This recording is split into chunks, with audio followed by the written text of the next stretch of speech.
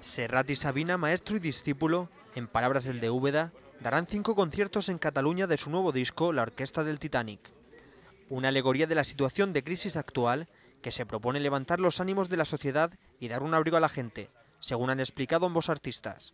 El primero de los cinco conciertos tendrá lugar el 24 de julio en el Festival Castel de Peralada, seguido de otro previsto el 7 de agosto en el Festival de la Porta Ferrada en San Feliu de Guíxols. La Plaza de Toros de Tarragona acogerá al dúo el 14 de agosto, mientras que la ciudad de Barcelona tendrá recitales los días 13 y 14 de septiembre en el Palau de San Jordi. Sabina ha explicado que el título del álbum se debe al ejemplo ético y estético que dio la orquesta del Titanic cuando el barco se hundía y que buscaba que la gente se consolara. Lo novedoso de este álbum es que las canciones, tanto la música como la letra, están compuestas codo con codo. Que nos hemos animado otra vez a, y corriendo el riesgo además de escribir juntos, cosa que nunca habíamos hecho. ¿no?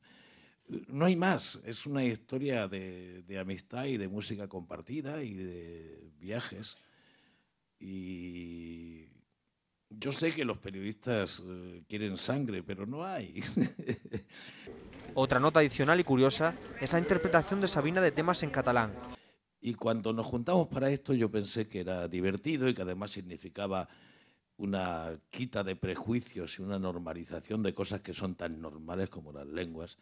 De esta manera y dejando atrás la excelente experiencia en los escenarios con la gira Dos pájaros de un tiro, Serrat y Sabina, Sabina y Serrat se embarcan en un Titanic que tendrá como primer puerto Argentina. Los magnates detrás.